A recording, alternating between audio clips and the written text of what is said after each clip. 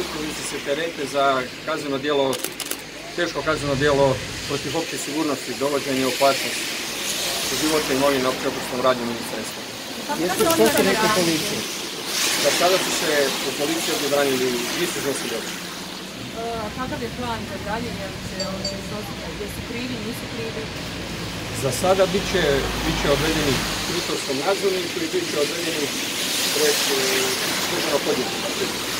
U županijskoj državnoj u Zagrebu, pa ćemo tamo vidjeti. Jeste komunicirali sa svojim klijentima što oni kažu, smatraju li se odgovornim za smrt čovječera štićenika iz njihovog doma ili? Kao što sam rekao, ja branim gospođu i ona za sad nije iznosila ovo. E, da li očekujete da će biti pritvor e, određeni?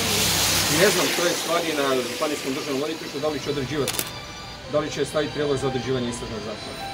Koji je ključni dokaz? Kažem, za sad nismo iznijeli obranu, vidjet ćemo. A koji je ključni dokaz koji je policija iznijela danas protiv vaše? Znači, za sada ono, onoliko koliko je nama predočeno, do požara je došlo, znači uzrok bi bio tvar koji je uzrokovao, znači koji je uzrokovao zapaljenje grijalice, odnosno kalorifera.